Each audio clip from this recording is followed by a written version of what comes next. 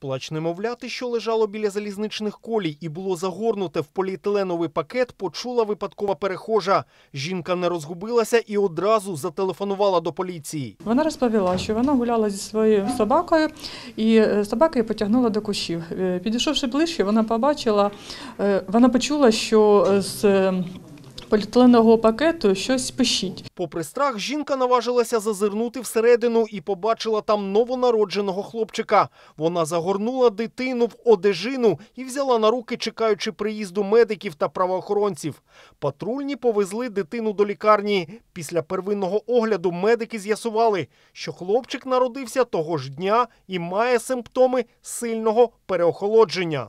Малюк був е, з е, перехолодженням, е, був у критичному стані.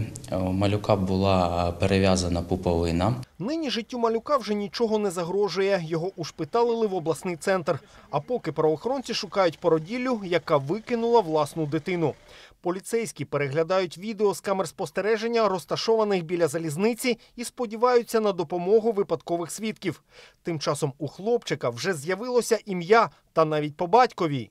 Між собою поліцейські ласкаво називають хлопчика Кирило Євгенович на честь Кирила Євгена, які е, зорієнтувалися відразу е, відвезли дитинку до пологового будинку.